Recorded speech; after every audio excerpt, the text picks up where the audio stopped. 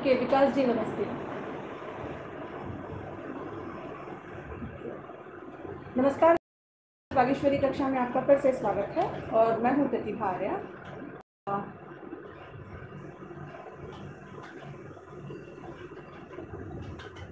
अभी कुछ देर पहले थोड़ा इंटरनेट कनेक्शन में थोड़ा दिक्कत आ गई थी। आप सभी का स्वागत है दोस्तों। फ़र्स्ट ग्रेड स्कूल लेक्चरर जिसके कि अब एडमिट कार्ड भी इशू हो चुके हैं। तो मुझे लगता है कि आप सभी की तैयारी बहुत अच्छी होगी, लेकिन फिर भी उसके रिवीजन क्लास के लिए मैंने आपसे प्रॉमिस किया था। तो आज उसकी रिवीजन क्लास की फ़र्स्ट क्लास है, जिसमें हम सबसे पहले रघुवंशम पढ़ेंगे। तो रघुवंशम, आप पढ़ चुके होंगे, इसका अध्ययन करें। इससे पहले जितने भी लोग हमसे जुड़े हैं दोस्तों, आप इस क्लास को शेयर कर दीजिए। जी, सभी को बहुत बहुत नमस्कार, सभी को गुड इवनिंग जी हाँ बहुत दिन हो गए मुझे लाइव आए हुए। तो आज मैं लाइव हूँ। तो चलिए क्या अध्ययन करें हम? रघुवंशम का एक बार सब लोग हम सब दिखा दीजिए कि हाँ आप तैयार हैं पढ़ने के लिए और इसे जल्दी से शेयर भी करते रहिए। जी, ताकि हम इसको पढ़ना शुरू करें। आप सभी का बहुत बहुत धन्यवाद दोस्तों सुबह सुबह यहाँ पर लाइव जुड़ने के लिए। चलिए अब रघुवंशम का अध्ययन करते हैं, ठीक है? आप सभी के लगातार कमेंट्स आ रहे हैं, लेकिन थोड़ी देर के लिए हम कमेंट्स को बंद करेंगे। फिर आपके लिए जब क्वेश्चन आपको सुनने होंगे तो क्वेश्चन को हम देखेंगे। चलिए, सबसे पहले शुरू करते हैं रघुवंशम देखिए, बहुत सारे अभी कमेंट आते ही प्रतिमा नाटकम के लिए बोल रहे हैं। आज दिन में फिर से मैं लाइव आऊँगी। और उस लाइव सेशन में हम क्या करेंगे दोस्तों? उसमें हम रघुवंशम पढ़ेंगे। रघुवंशम अभी पढ़ लिया है, फिर हम उसमें शिशुपाल वधन पढ़ेंगे। और सिर्फ़ इतना ही पढ़ेंगे जितना हमको एग्ज़ाम में रिविजन करना है। इसलिए जल्दी से कॉपी पेन लेकर के तैयार हो जाएँगे देखिए, आप लाइव क्लास में आएँगे, सुनेंगे, सिर्फ़ इतना नहीं। अगर आपको कोई चीज़ अच्छी लगती है तो आप उसे नोट कर लीजिए, क्योंकि एग्ज़ाम ओरिएंटेड ही सिर्फ़ पढ़ाने वाली है। तो कॉपी पेन लेकर बैठिए पहली बात। दूसरी बात, यदि आपको कोई चीज़ इसमें से ठीक लगती है तो उसका स्क्रीन शॉट ले लीजिए अपने मोबाइल में या जिसकी पीसी में आप देख रहे हैं। तो चलिए शुरू करें क्लास शुरू करते हैं। सबसे पहले देखिए दोस्तों, रघुवंशम। रघुवंशम क्या है? एक महाकाव्य है, जिसे आप देख पा रहे हैं। एक महाकाव्य है, जिसमें 19 सर्व पंद्रह सौ उनहत्तर पद्य हैं। तो ये तीनों इन्फॉर्मेशन बहुत ज़्यादा इंपॉर्टेंट है। पहली तो चीज़ आपसे पूछा जाता है, रघुवंशम है, महाकाव्य खंड काव्य गीति काव्य तो पहला उत्तर क्या होगा? महाकाव्य है। किसके द्वारा रचित है? कालिदास जी के द्वारा रचित है। इसमें उन्नीस सर्ग हैं। सर्गों का एक सामान्य प्रश्न होता है, क्योंकि लेकिन किसी में अठारह, किसी में उन्नीस, किसी में बीस तो एक कन्फ्यूज़न होता है। आपको ध्यान रखना है, उन्नीस सर्गात्मकम है रघुवंशम, जिसमें कि पंद्रह सौ उनहत्तर पद्य हैं। इसके अंतर्गत ये प्रश्न, अगला जो शब्द मैं देने वाली हूँ, ये प्रश्न आज तक नेट जे इंटरव्यूज़ तक में पूछा गया है। आपको ध्यान रखना है कि रघुवंशम के अंतर्गत इकतीस राजाओं का वर्णन किया गया है, जो कि सूर्यवंशी राजा थे। कौन से राजा थे? सूर्यवंशी राजा। अब ये जो सूर्यवंश है, इसको सीधा सीधा कभी कभी सूर्यवंश ना पूछ करके वो इक्ष्वाकु वंश कह देता है। तो ये जो इक्ष्वाकु वंश है ना दोस्तों, ये इक्ष्वाकु वंश सूर्यवंश को ही कहा जाता है। ठीक है? इक्ष्वाकु ये सूर्य जो है, उसका पर्यायवाची है। तो आपको ध्यान रखना है। तीन बातें रघुवंशम महाकाव्य, जो कि कालिदास जी के द्वारा लिखा हुआ है, उन्नीस सर्ग पंद्रह उनहत्तर इसमें पद्य है। सूर्यवंशी इकतीस राजाओं का इसके अंतर्गत वर्णन हुआ है। अब देखिए, सबसे पहला पूछता है वो। रघुवंशन में जो सबसे पहला इसमें आपको वर्णन मिलता है वो दिलीप, राजा दिलीप, रघु, अज, दशरथ, राम और कुश। इनको कम से कम आपको क्रम से याद करना है। इनको क्रम से याद करना है। इकतीस राजाओं को याद करने के लिए नहीं कहते, सिर्फ़ इनको क्रम से याद करना है। दिलीप राजा रघु, राजा अर्ज़, राजा दशरथ, राजा कुश, इनका विस्तार पूर्वक वर्णन किया है। और सत्रहवें सर्ग तक तो इन्हीं लोगों का, यानी कि ये जो छह राजा हैं और जो कि इक्ष्वाकु वंश के प्रसिद्ध राजा हैं, इन छह राजाओं का तो सत्रह सर्ग में इन्होंने उल्लेख किया है। जिसमें क्रम से दिलीप आते हैं, रघु आते हैं अज दशरथ, राम और कुश। छह राजा इनका क्रमशः क्रमशः सत्रह सर्गों में इन्होंने उल्लेख किया है। उसके बाद अठारह इसमें मेगातिथि नाम से अतिथि राजा अतिथि हुए थे अठारहवें सर्ग में। उसका वर्णन है। और उन्नीसवें अंततः अग्निवर्ण की विलासिता से रघुवंश की समाप्ति दिखाते हैं। तो सबसे पहले दिलीप, रघु, अज, दशरथ, राम और कुश, इन छह राजाओं का याद रखना है क्रम। और अंतिम राजा अग्निवर्ण है। ये सीधा सीधा प्रश्न भी कई बार रघुवंशम में से पूछा गया है कि बताइए रघुवंश के अंतर्गत जिन सूर्यवंशी राजाओं का उन्होंने वर्णन किया है, उसमें अंतिम राजा कौन सा है? तो कौन से हैं अंतिम राजा? इसमें अग्निवर्ण है, ठीक है? और यहाँ पर फिर रघुवंश समाप्त हो जाता है, ठीक है? अब हम शुरू करते हैं इसका एक साधारण सा परिचय, जिसे आप देख सकते हैं, जो मैं बता चुकी हूँ। रघुवंशम। रघुवंशम क्या है? एक महाकाव्य है। इसमें उन्नीस से पंद्रह सौ उनहत्तर पद्य है, इकतीस राजाओं का वर्णन है। ये एक ऐतिहासिक ग्रंथ है, यानी कि इसकी जो कलन किया गया है, ये श्री राम का इतिहास से संबंधित है, ठीक है? तो इसकी जानकारी भी इसमें मिलती है, ठीक है? इनका जो ये काव्य है ना दोस्तों, इसमें उपमा अलंकार की प्रधानता है। आपसे यदि पूछेंगे कि रघुवंशम में किस अलंकार की प्रधानता है तो आपको ध्यान रखना है, उपमा अलंकार की प्रधानता है।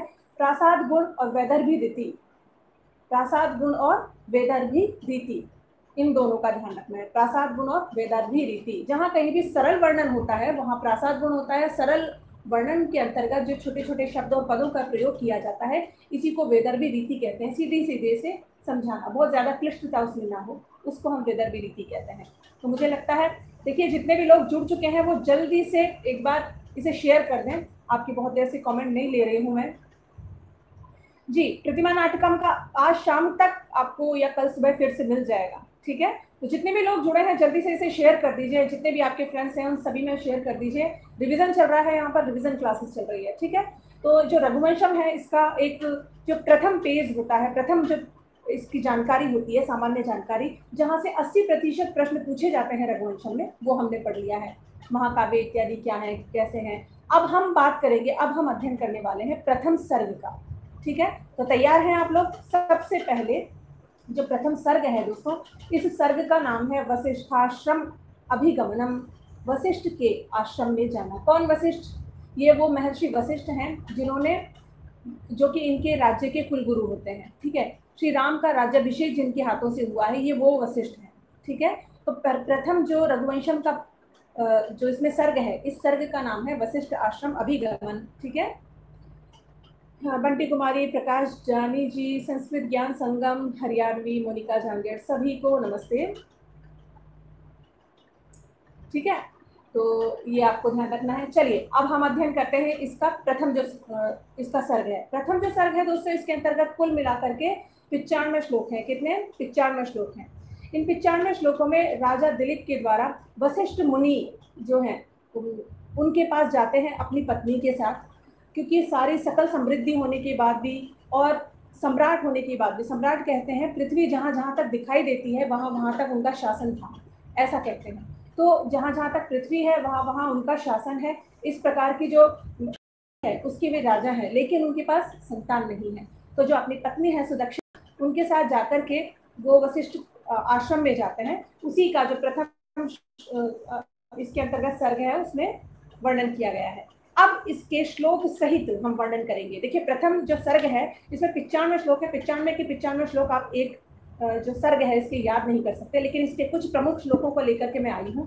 तो जल्दी से इसे शेयर करते जाइए लाइक करते जाइए, ठीक है? और इसके बाद हम देखेंगे एक सर्ग को, किसी भी सर्ग को पढ़ने का जो तरीका होता है, वो तरीका ये होता है, सबसे पहले तो उसका पूर्ण जो महाकाव्य है, इसका वर्णन आप देख लीजिए, कितने इसमें सर्ग हैं, कितने कितने पात्र हैं। उसके बाद जब सर्ग देखते हैं, क्योंकि प्रथम सर्ग अधिकतर ग्रंथों का हमारे यहाँ होता है तो आपको ये देखना है, सबसे पहला काम है मंगलाचरण, जो कि न केवल सर्ग का प्रथम है, बल्कि संपूर्ण पुस्तक का प्रथम श्लोक होता है। तो ठीक है, इसके अंतर्गत रघुवंशम में हम प्रथम इसका जो मंगलाचरण श्लोक है, इसे पढ़। देखिए, श्लोक मैं इसलिए कह रही हूँ, हर एक पद्य को श्लोक नहीं कहा जाता, सिर्फ़ अनुष्टुप छंद को भी श्लोक कहा जाता है। तो उसी का हम यहाँ पर वर्णन करेंगे दोस्तों। तो प्रथम इसका जो मंगलाचरण है, उसको देखते हैं। सबसे पहले शुरुआत करते हैं महाकवि कालिदास।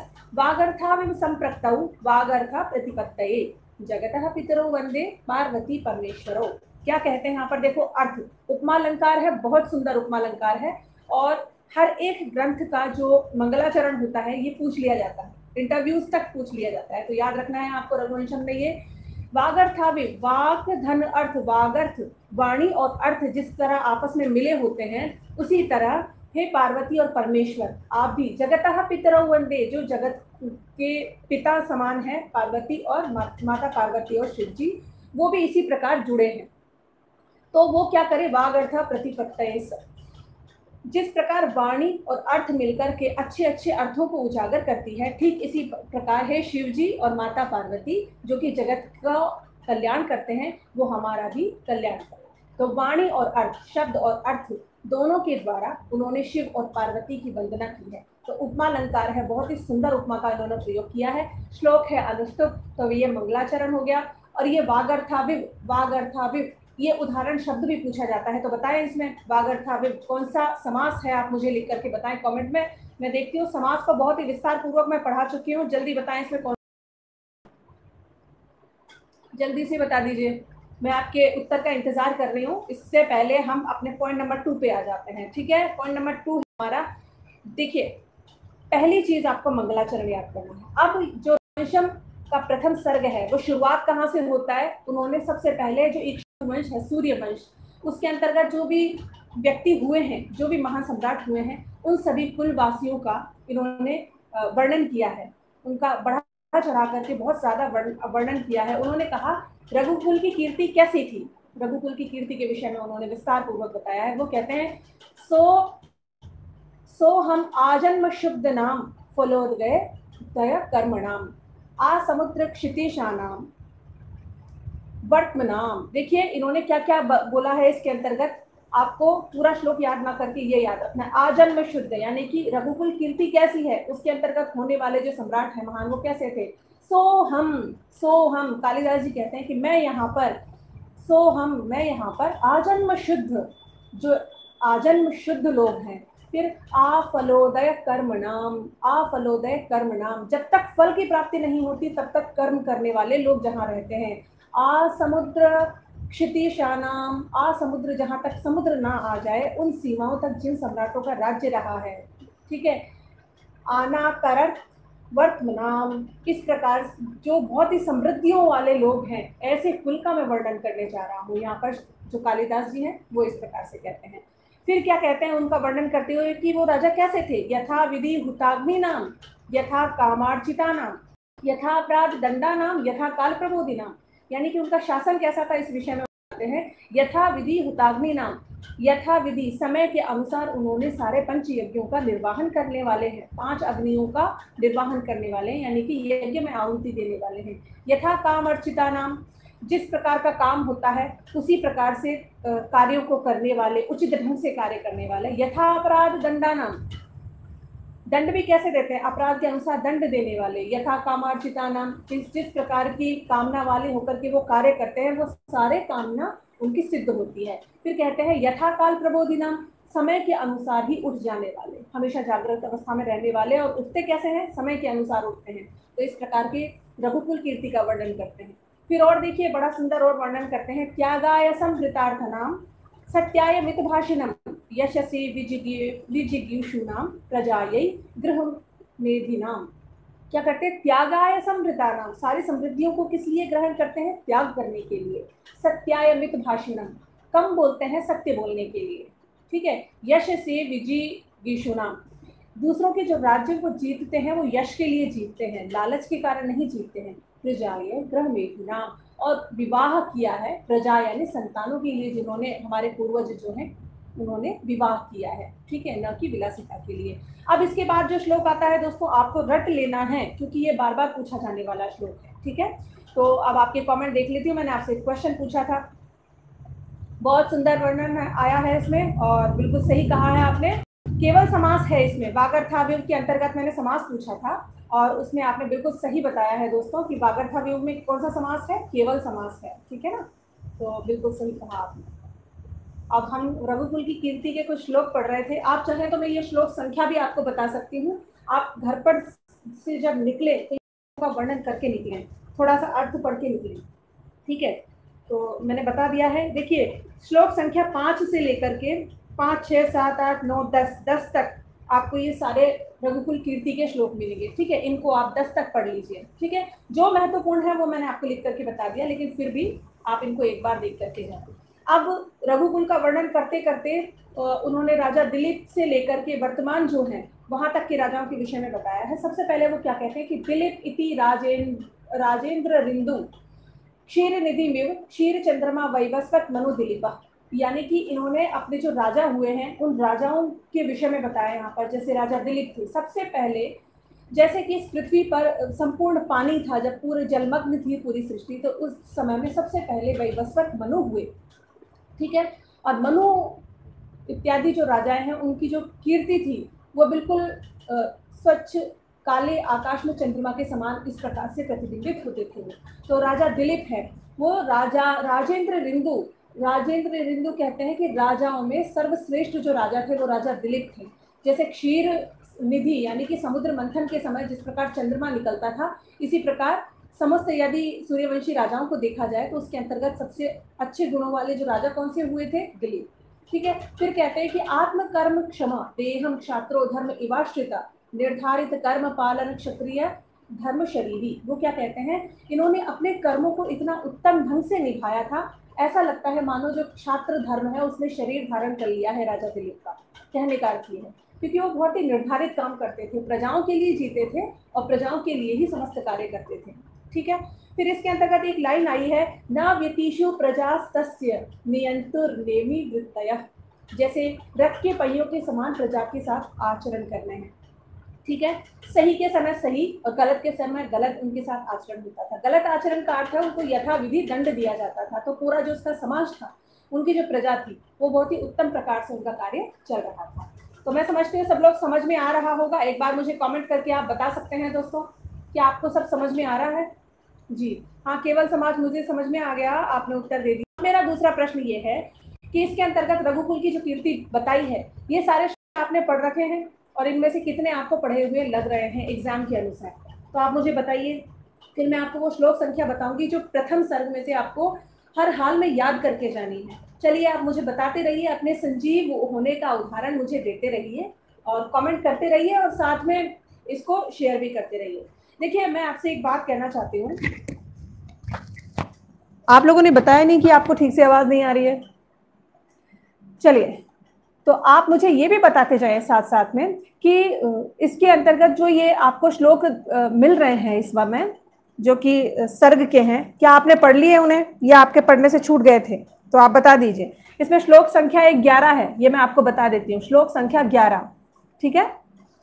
श्लोक संख्या ग्यारह में ये क्या कहते हैं कि, वैवस्वतो मनुर नाम माननीयो नाम आसन मही क्षिता माध्य प्रणव छंद सामिव कितना सुंदर ये वर्णन किया है इन्होंने, वैवस्वत मनु जो इनके वंश के राजा हुए हैं उसके विषय में, ये पूछा जा सकता है, ऐसे कि, ऐसे पूछा जा सकता है तो ध्यान रखना है आपको।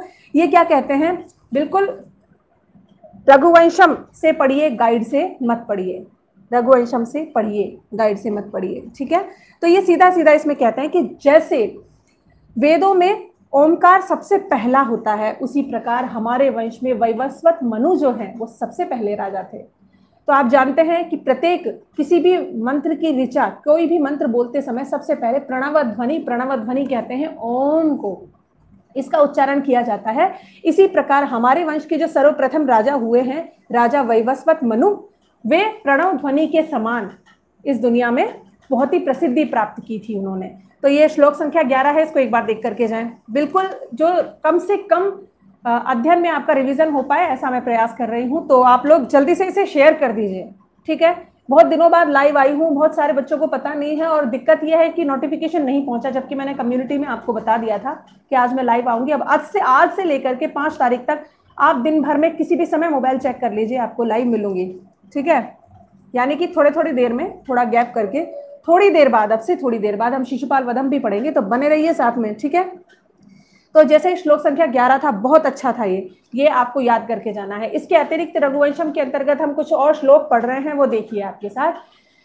कि गुणानुबंधित तस्य गुणा सा प्रसवा इव। ये बहुत अच्छा इसका उदाहरण है ये श्लोक। ये एक सूक्ति के रूप में भी पूछा जा सकता है। गुणानुबंधित विरोधी गुणों के का समन्वय थे? कौन थे? राजा दिलीप जो थे, वो विरोधी गुणों का समन्वय थे।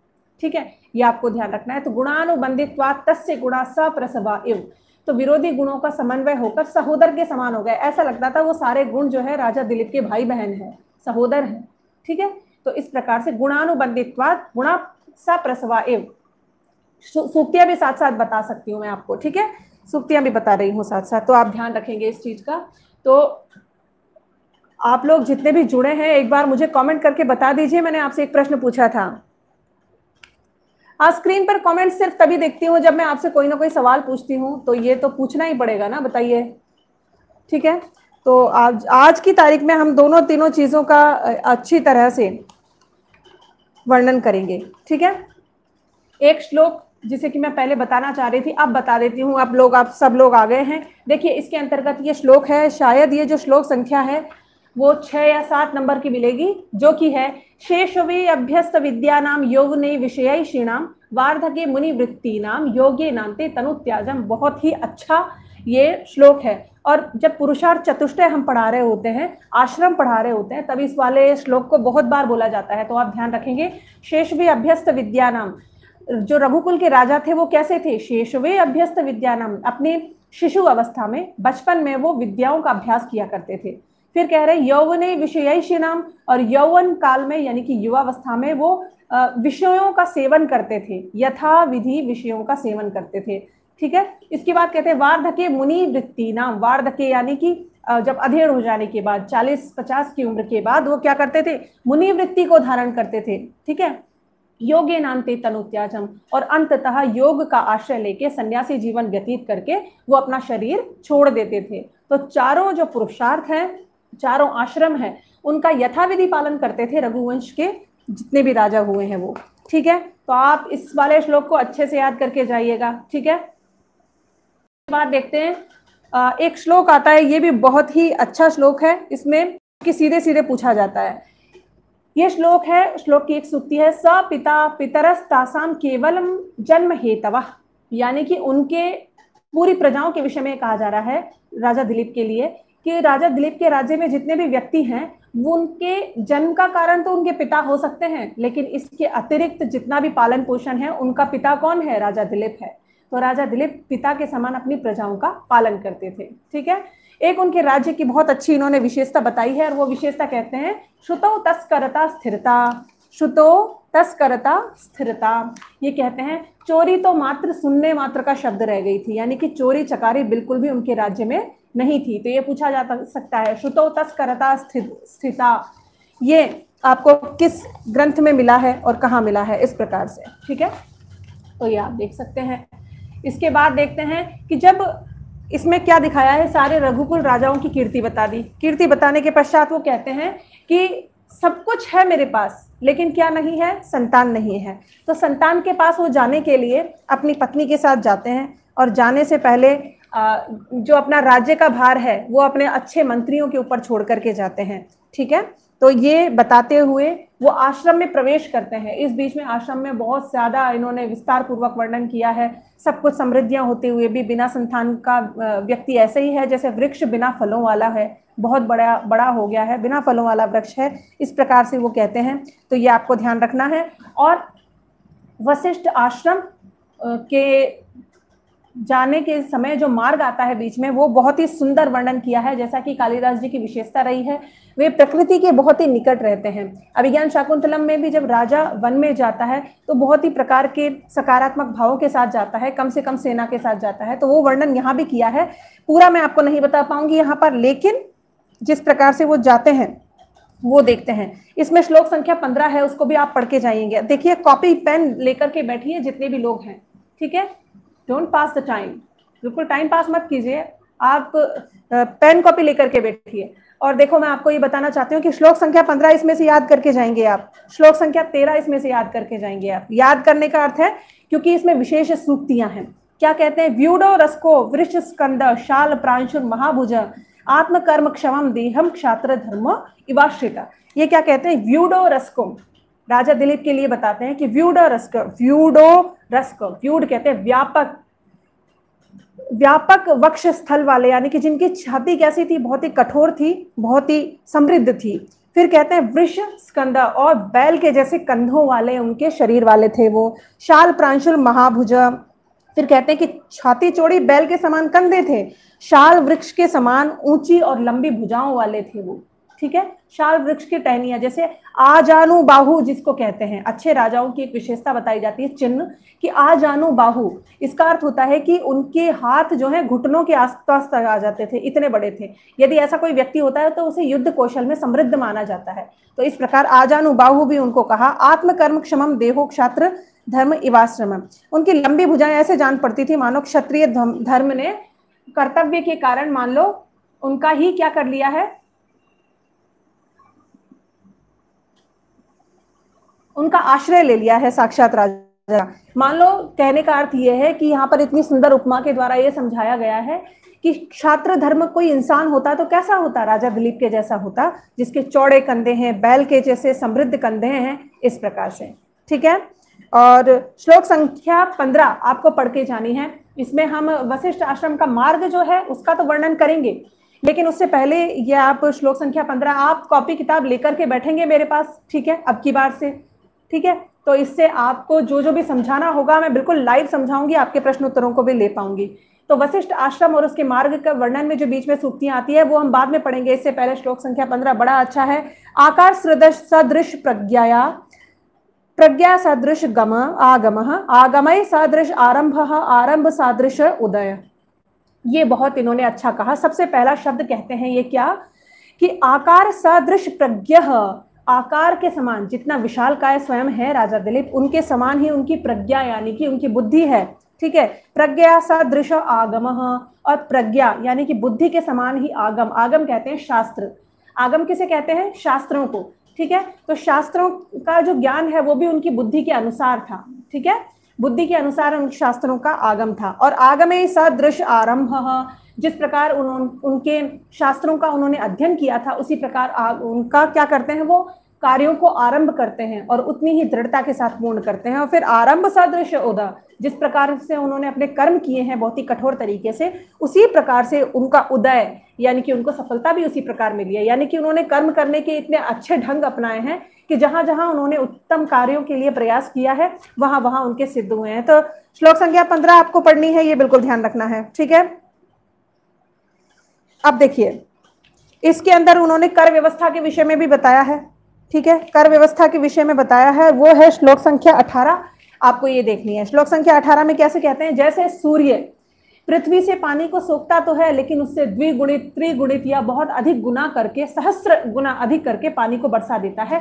ठीक इसी प्रकार उनकी कर व्यवस्था कैसी थी? यानी कि उनकी कर व्यवस्था इतनी अच्छी थी कि वो बहुत कम उनसे कर के रूप में लेते थे, लेकिन लौटाते समय हज़ार गुना अधिक करके उनको लौटाते थे। तो ये बहुत अच्छा एक श्लोक था। इसको याद रखना है। श्लोक संख्या बताती जा रही हूँ, श्लोक संख्या अठारह। ठीक है? एक ये बहुत, श्लोक संख्या 22 बहुत ही इंपॉर्टेंट है, बहुत अच्छा है। ये कहते हैं, ज्ञाने मौनम क्षमा शक्तो, त्यागे श्लाघाय विपर्य गुणानुबंधित्वाद गुणा स प्रसवा एव। जैसे कि अभी भी थोड़ी देर पहले मैंने सूक्ति पढ़ी थी, वो सूक्ति थी 22 में श्लोक की। ये क्या कहते हैं? इन्होंने बहुत ही अच्छा कहा कि ज्ञानी होने पर भी जो दिलीप हैं वो शांत रहते थे। ज्ञाने मोनम ज्ञानी होने पर, पर भी वो मौन रहते थे। क्षमा शक्तो शक्ति होते हुए भी उनमें क्षमाशीलता थी। ठीक है? त्यागे श्लाघाय विपर्य फिर कहते दानी होते हुए भी बढ़ाई की इच्छा नहीं रखते थे। इस प्रकार अपने अपने गुणों के विरोधी होने के बाद भी बहुत ही सुंदर प्रकार से अपने सारे विरोधी गुणों को सहोदर की तरह रखते थे। तो ये श्लोक संख्या बाईस हुआ। बहुत ही अच्छा था बहुत ही ज़रूरी श्लोक था। ठीक है? जी, अब आपसे एक प्रश्न पूछती हूँ, ठीक है? थोड़ी देर पहले मैंने रघुवंशम पढ़ाया था, ठीक है? रघुवंशम महाकवि कालिदास की कौन से नंबर की रचना है? आपको ये बताना है।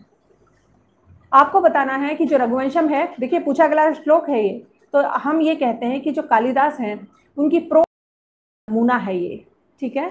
तो आपको ये बताइए। हाँ स्क्रीन पर श्लोक नहीं है क्योंकि मैं आपको पुस्तक में में से साक्षात बता रही हूँ। इसमें तो सिर्फ़ आपको कुछ ऐसी श्लोक बताए हैं क्योंकि आप रिवीजन कर रहे होंगे तो श्लोक संख्या आपको बता दे सिर्फ़ सिर्फ़ उन्हीं श्लोकों को पढ़ करके जाइए। ठीक है? अब मैं आपको बता चुकी हूँ बिल्कुल ठीक है? तो इसके बाद जो हम पढ़ेंगे वो सीधा आपको जो स्क्रीन पर दिखाई दे रहा है तो वो पूरा का पूरा ऐसे ही पढ़ना है आपको। हुँ? हम्म? तो आ, मैंने आपसे एक प्रश्न पूछा है आप उसका उत्तर दे दीजिए। उत्तर प्रश्न है रघुवंश महाकवि कालिदास की कौन से नंबर की रचना है। नंबर दो नंबर दो अच्छा नंबर दो। श्लोक स्क्रीन पर लाऊं, श्लोक संख्या बता रही हूँ ना, इसमें क्या है, श्लोक जो है ना, वो मैंने पूरे, देखिए, इसके ऊपर जो श्लोक लिखे हैं, पूरे नहीं लिखे हैं, वही सिर्फ़ पंक्ति लिखी है, जो सीधा परीक्षा में पूछी जाती है। लेकिन साथ साथ में आपको ये भी तो बताऊँ कि श्लोक संख्या कौन सी है तो आप आराम से उसका अध्ययन कर सकें, ठीक है? इसलिए मैंने ऐसा बताया है, इसलिए आप वो रही है एक श्लोक संख्या इकतालीस है। यहाँ कहते हैं, अब इससे पहले कि आप कुछ कहें, मैं आपको पहले वशिष्ठ आश्रम का मार्ग समझा देती हूँ। देखिए सिचुएशन है, जो राजा दिलीप है अपने राज्य से चल चुके हैं, अपनी पत्नी सुदक्षिणा के साथ, और वो जिस रथ बैठे हुए हैं, कुछ सैनिकों के साथ, वो मार्ग में जा रहे हैं। मार्ग में अब वन की सीमा शुरू हो चुकी है, वन के दोनों ओर बहुत ही सुंदर पक्षी बैठे हुए हैं और वहाँ पर मृग के जोड़े बैठे हुए हैं। मृग कहते हैं हिरन को। हिरन और हिरनिया दोनों तरफ़ है। बहुत सुंदर प्रजाति के पुष्प वहाँ पर हैं। पेड़ की छाया है। इस प्रकार का वर्णन करते हैं। लेकिन अब देखिए, अब जब वो आश्रम पहुँच जाते हैं ना तो जिन ऋषियों से, महर्षियों से, यानी कि वशिष्ठ जी से वो मिलना चाहते थे तो उससे पहले वो मार्ग के अंदर प्रवेश करते हैं। अब वहाँ पर क्या होता है? वनांत वनांत रादुपावृते सभित कुश फलाहारई ही ये क्या कहते हैं? वनांत, वन के अंतर्गत जितने भी ऋषि कुमार हैं, ऋषि कुमार यानी कि जो ऋषियों के वेश में रहने वाले, अध्ययन अध्यापन करने वाले जो कुमार हैं, वो क्या है? समिधा लेने के लिए गए थे। क्या लेने के लिए? समिधा। समिधा कहते हैं यज्ञ के अंतर्गत जलाई जाने वाली जो लकड़ी होती है, उसको समिधा कहते हैं। समिधा चुनने के लिए गए थे, ठीक है? और वो जो संविधाएँ हैं, उनका, उनको वापस लेकर के वो कब लौटेंगे? इस प्रकार से जो वहाँ पर उनका बहुत ही ज़्यादा प्रतीक्षा हो रही है। तो इसी प्रकार प्रतीक्षा होती है, माताओं की तरह साधुओं का समाद समाद आदि सहित स्वागत हो रहा है। जैसे अपने पुत्र या बच्चों के बाहर जाने पर माता जिस प्रकार से इंतज़ार करती है ना, ठीक इसी प्रकार जो वन में वहाँ पर लता गुल्म इत्यादि है, वो ऐसे ही इंतज़ार कर रहे हैं ऋषि कुमारों का और महर्षि का। तो ये बहुत अच्छी सुक्ति है, इसको याद करेंगे। ठीक है? इसके बाद आता है, मुनि कन्याओं के द्वारा उस वक्त रास्ते में सिंचन किया जा रहा है। देखिए, कालिदास जी की हमेशा से विशेषता रही है। ठीक ऐसा ही वर्णन उन्होंने अभिज्ञान शाकुंतलम में भी किया है कि जो उनकी कुटिया है महर्षि की, उसके आसपास मुनि कन्याएँ हैं, उनको हल्का कार्य दिया जाता है, पानी देना है पौधों को। और मृग रोमंथ रोमंथ कहते हैं, जो हिरण इत्यादि हैं, घास खाते हैं और उसकी जुगाली करते रहते हैं, वो सब कहलाता है रोमंथ। तो इस प्रकार हिरण है, दोनों ओर, उनके रथ के दोनों ओर, वो उतर चुके हैं आश्रम के आसपास, और दोनों तरफ़ मृग जो हैं, वो जुगाली कर रहे हैं। पुनानम पवनोद धूतई ही धूमे राहुति गंधि भी यज्ञाहुति। सुगंधि पवित्र। यानी कि वो क्या कहते हैं? पुनानम पवित्र हैं, पवनोद धूतई ही पवन के द्वारा लाई गई इधर। जहाँ उन्होंने यज्ञ किया था, उस यज्ञ से यहाँ हम तक पहुँचाने के लिए पवित्र सुगंधियों को, कौन सी पवित्र सुगंधियाँ? जो कि यज्ञ करने से सुंदर सुगंधियाँ होती है, खुशबू आती है, पवनों के द्वारा उसे हमारे पास लाया गया है। ठीक है? तो वो उनकी सुगंध कैसी है? बहुत ही पवित्र सुगंध से युक्त है। इस प्रकार का इन्होंने वर्णन किया है। अब हम बात करते हैं अगले और श्लोक अब आप श्लोक संख्या नहीं जानना चाहते, जैसा कि मैं देख रही हूँ, आप कह रहे हैं कि श्लोक यहाँ दिखाइए तो पूरे श्लोक हम नहीं देख सकते, है ना? हाँ बहुत सही बात है, दूसरी नंबर की रचना है, बहुत अच्छा आपने कहा। अब आपको क्या करना है? जितने भी लोग हमसे जुड़े हैं ना वे सभी लोग ओके, सभी लोग हमसे क्या करेंगे? आप सभी लोगों को ये बताना है कि रघुवंश की प्रसिद्ध सूक्तियों में से आप कौन सी सूक्ति जानते हैं? ये जो सूक्तियाँ मैं बता रही हूँ, इनमें से कौन सी सूक्ति आप जानते हैं? आपको एक साधारण सी सूक्ति बतानी है। अच्छा एक ये भी बताना है आपको। श्री राम के जो दोनों पुत्र हैं, लव और कुश, इनमें से बड़ा कौन सा है? ये आपको बताना है। बहुत ही साधारण सा प्रश्न है, लेकिन आपको बताना है, ठीक है? चलिए, अब इसके अगले श्लोकों पर हम चलते हैं, जो कि है, प्रकाशश्चा प्रकाशश्च लोका लोक इवा चला। प्रकाश और अप्रकाश लोकालोक इवा चला। यज्ञ आदि से तेज पूर्ण भी तेजहीन है, ठीक है?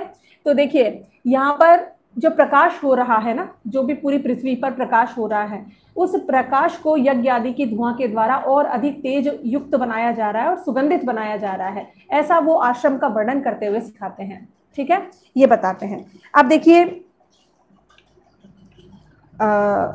वो सबसे मुख्य जो इसमें मैसेज आता है दोस्तों, वो मैसेज आता है जब वो वशिष्ठ जी से जाकर के संवाद करते हैं कि भाई मेरे पुत्र प्राप्ति होनी है मुझे। ये, इसके लिए आप कोई कार्य बताइए। ठीक है? तो ये इस विषय में जो प्रश्न है, वो ज़्यादा महत्वपूर्ण होता है। ठीक है? अब देखिए। इसके पश्चात आता है, ये अगला श्लोक जो है, इसमें क्या कहते हैं वो? जब ये पूछते हैं वशिष्ठ जी कि आपका आना कैसे हुआ? किस प्रकार आप आए? तो कहते हैं कि जब क्योंकि वशिष्ठ मुनि के आश्रम में जब ये पहुँचते हैं, उस वक्त वो अपने संध्यादि वादन में सायकाल को पहुँचते हैं, सायकाल को पहुँचने के बाद संध्यादि वादन में वो बिज़ी रहते हैं थोड़ा। तो जब वो बिज़ी वो अपनी संध्या इत्यादि कार्य निपटा करके आते हैं, उसके बाद आकर के उनका अभिवादन इत्यादि करते हैं, उसके बाद बोलते हैं। पूछा जाता है उनसे कि तस, तस्मान मुच्चे यथा तात संविधातुम तथा हिसी एक वाकूणाम दुरापय अर्थे त्वदधीनाम ही सिद्धया। मेरी संतानहीनता का समाधान कीजिए। कैसे कहते हैं कि, हे तात, हे पिता, संविधातो तथा अहिसी, मुझे इस प्रकार का कोई कार्य बताइए, वो प्रक्रिया बताइए, जिससे एक शुवाकु वंश को मैं और आगे बढ़ा सकूँ। ये सारी समृद्धियाँ जो मैंने प्राप्त की है, सारा जो राज्य प्राप्त किया है, ये किसके लिए? ये सब किसके लिए आगे हमारा इक्ष्वाकु राज्य उसी प्रकार बढ़ते रहे, जैसे कि मेरे पूर्वजों के द्वारा आज तक चलाया गया है। तो इस प्रकार अपना वो दुख कहते हैं कि संतानहीनता का समाधान कीजिए। बहुत अच्छी उन्होंने बात कही है यहाँ पर, ठीक है? इसके बीच में वो आतिथ्य सत्कार इत्यादि होता है, वो महत्वपूर्ण इतना नहीं है, आप पढ़ना चाहें तो पढ़ लीजिए, ठीक है? जो महत्वपूर्ण बात थी, वो मैंने आपको बता दी, ठीक है?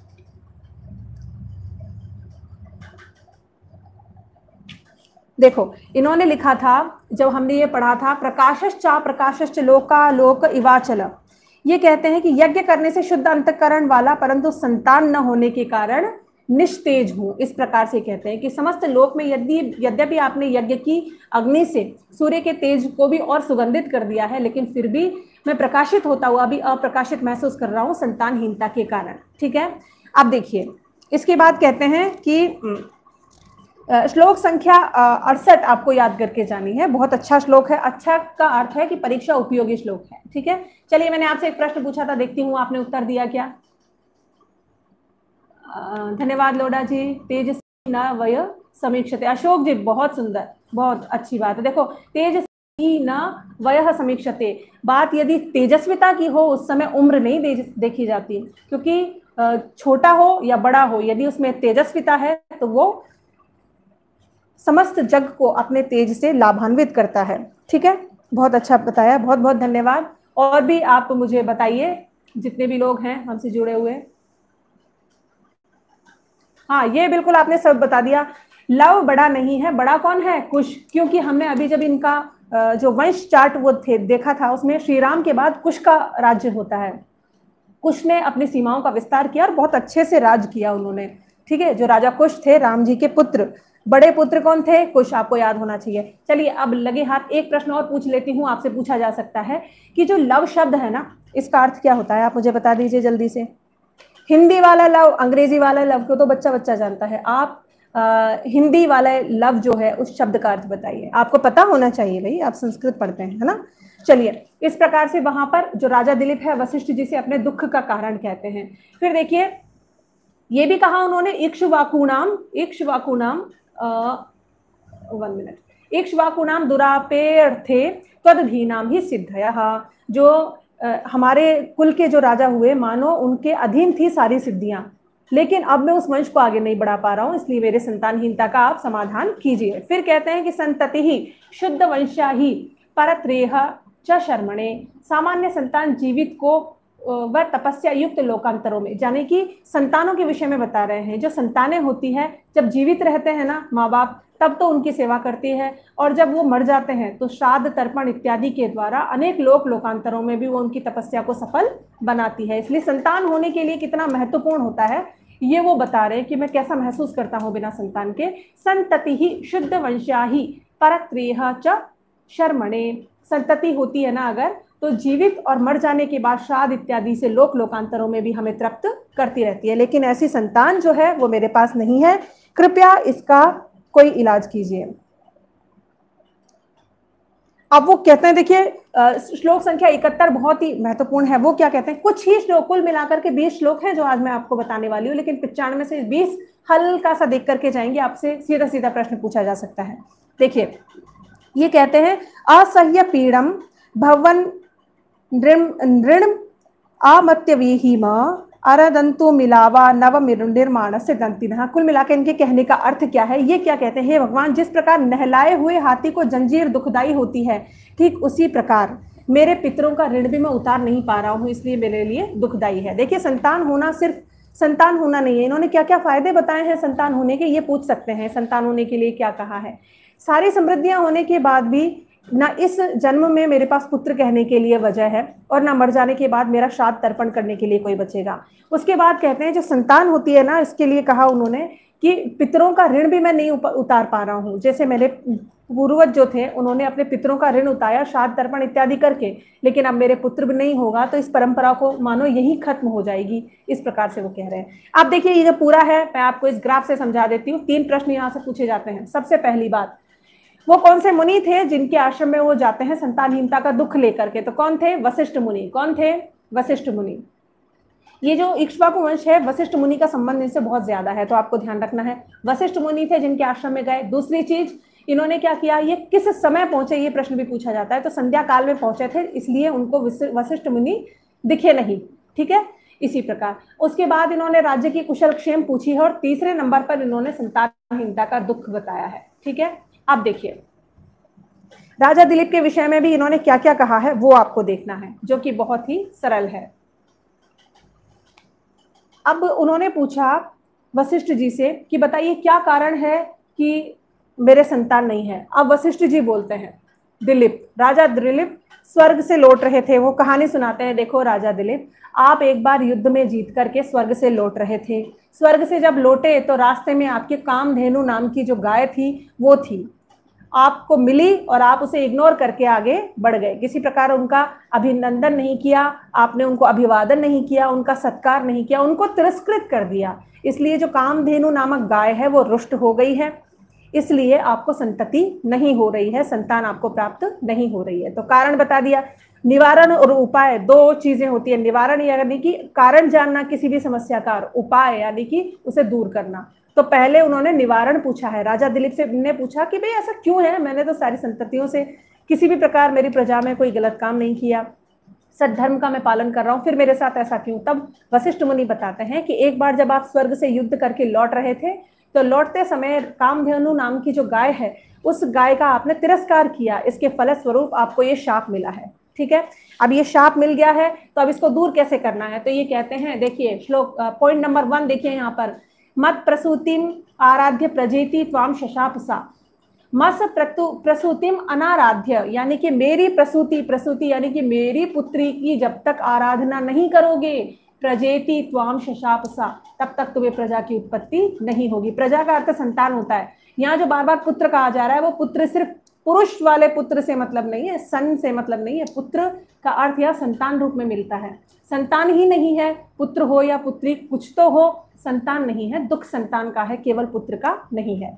तो इन्होंने कहा कि मत प्रस्तुति आराध्य उसका उपाय भी बताया कि जो कामधेनु गाय थी, उसने शाप क्या दिया है कि मत प्रसूति आराध्य मेरे द्वारा उत्पन्न प्रसूति के द्वारा उत्पन्न जो गाय होगी, प्रजेति त्वाम शशाप स्वा, वो उसकी आराधना न करने के कारण आपको शशाप सा उसने शाप दिया है। ठीक है?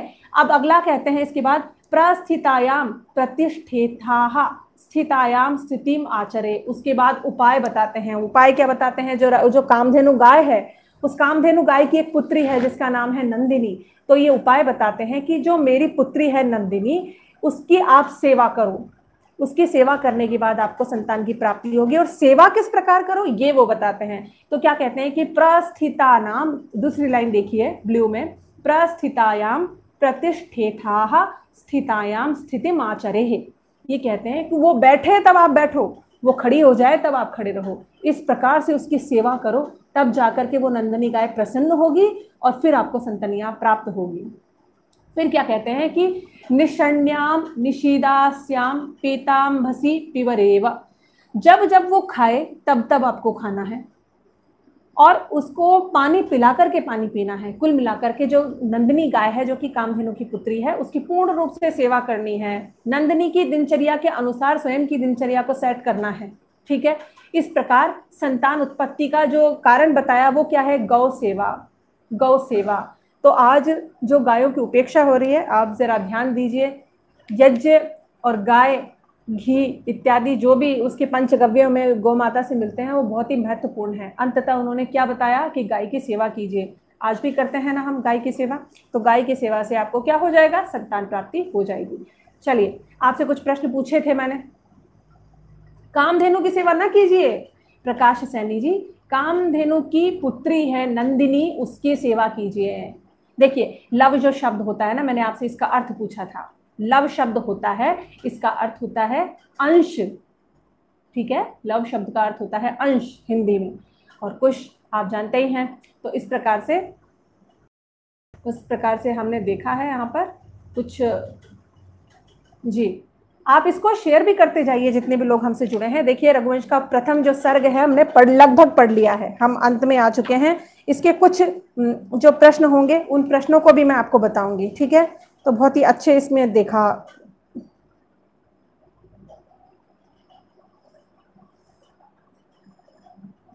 तो कारण बता दिया, निवारण बता चुके हैं। इस प्रकार से पूरी संतानोत्पत्ति के विषय में उन्होंने कह दिया है। तो इस प्रकार अब हम रघुवंश जो है, इसके लगभग अंतिम स्तर पर आ गए हैं। तो इस प्रकार से हमने पूर्ण रूप से इसको देख लिया है रघुवंश को। जो जो मैंने श्लोक बताए हैं, आप यदि उनको पढ़ के जाएँगे तो रघुवंश में अब कुछ बचता ही नहीं है। जितना अनुभव है, प्रथम जो फ़र्स्ट ग्रेड के पेपर्स आते हैं, उनमें देखा है। पाँच प्रश्न पूछे जाते हैं। ध्यान से सुन लीजिए, इस समय पाँच प्रश्न बता रही हूँ। कॉपी पेन लेकर के बैठिए don't waste your time don't pass the time okay तो आप देखिए आप इसमें पहला प्रश्न, सर्ग और पद्यों की संख्या। दूसरा प्रश्न प्रश्न, महाकाव्य और इसका क्रम कौन सा था? प्रौढ़ प्रतिभा का प्रसून माना जाता है, ठीक है इसे? जो महाकवि कालिदास है, इन्होंने महाकवि, जो रघुवंश है, इसका सबसे पहला श्लोक वागर था विसंप्रक्त वागर था प्रतिपत्त जगत पितरो वंदे पार्वती परमेश्वर। ये ध्यान रखना है आपको। प्रथम जो इसका मंगलाचरण है, इसका ध्यान रखना है। श्लोक संख्या ध्यान रखनी है। उसके बाद तीनों चीज़ और ध्यान रखनी है। राजा दिलीप किसके साथ गए? पत्नी सुदक्षिणा के साथ गए। काम क्या कहा उन्होंने? उन्होंने स्वर्ग से लौटते समय कामधेनु गाय का अपमान किया था। अतः कामधेनु की जो पुत्री है नंदिनी, उसकी सेवा करने पर उन्हें संतान प्राप्ति हो जाएगी। इस प्रकार से ये पूरा उनका कार्य जो था, उसका संपादन हुआ। तो आपको ध्यान रखना है दोस्तों इस बात का। ये सारी मुख्य जो घटनाएँ हैं, घटनाओं में कौन कौन से पात्र हैं, ये ध्यान रखना है। ठीक है? इसके अतिरिक्त जो जो सूक्ति आई है, सूक्तियाँ भी साथ में मैंने आपको बहुत सारी इसमें बता दी है। ठीक है? तो उम्मीद है आपको ये पूरा समझ में आया होगा। ठीक है? फिर ये देखिए। श्लोक बाकी सारे श्लोक मैंने बता दिया। आपको ये श्लोक संख्या हाँ प्रथम जो सर्ग है वो पढ़ना है। प्रथम सर्ग में बताइए कितने श्लोक है? अभी थोड़ी देर पहले मैंने बताया था। आपके लिए प्रश्न छोड़ रही हूँ, बताइए। प्रथम सर्ग में कुल कितने श्लोक हैं? श्लोक इसलिए कह रही हूँ क्योंकि अनुष्टुप छंद में लिखा गया है और अनुष्टुप छंद को श्लोक कहते हैं। हाँ मोनिका चांगेल, बिल्कुल सही। बाकी सब लोगों के नहीं आ रहे हैं उत्तर। इसको जल्दी से शेयर करते जाइए। शोभना, बिल्कुल सही। आपके उत्तर ले लेती हूँ। देखिए, अभी हो रहा है समय बारह बज के दो मिनट हो रहे हैं। अब आपको ये ध्यान रखना है, ठीक आज आज ही के दिन में ठीक तीन बजे हम शिशुपाल वधम पढ़ेंगे। इसी तरह फटाफट रिविजन करेंगे। अब की बार थोड़ा और कम समय में करेंगे, क्योंकि बहुत दिनों बाद मैं लाइव आई हूँ, आप लोगों से मिलना नहीं हुआ। इसलिए मैंने आपको थोड़ा सा समय लिया है आपका तो मैं जानती हूँ कि आप थोड़ा सोच रहे होंगे कि इस तरह रिवीजन में टाइम लग रहा है, लेकिन पूरा एक श्लोक, एक सर्ग पढ़ चुके हैं हम, और इसके जितने भी प्रमुख प्रश्न हैं, वो पढ़िए। श्लोक संख्या एटी नाइन नवासी एटी नाइन नवासी पढ़ के जाइएगा। मैं जो श्लोक संख्या बता रही हूँ, देखिए, अगली बार पेन कॉपी लेकर बैठना, आज ही के दिन तीन बजे शिशुपाल वदम भी हम पढ़ेंगे, ठीक है? तो जल्दी से जाइए और शिशुपाल वदम भी पढ़ना है हमको तो आप थोड़ा पढ़ के रखिए। उसमें सिर्फ़ आज वही बताया है जो काम का है, ठीक है? अब क्वेश्चन सुन लीजिए। क्वेश्चन क्या क्या है रघुवंश के अंतर्गत इक्ष्वाकु वंश का वर्णन किया गया है, जो इक्ष्वाकु शब्द और सूर्यवंशी दोनों शब्द ही आप याद करके जाएँगे, ठीक है? पहली चीज़। और दूसरी चीज़ इसमें क्या है? श्लोक कितने हैं? पचानवे है, पंद्रह सौ उनहत्तर पूरे पद्य हैं, उन्नीस सर्ग हैं, महाकाव्य की एक रचना है, इकतीस राजाओं का वर्णन है, प्रथम राजा दिलीप वैवस्वत मनु है, ठीक है? और अंतिम राजा कौन है?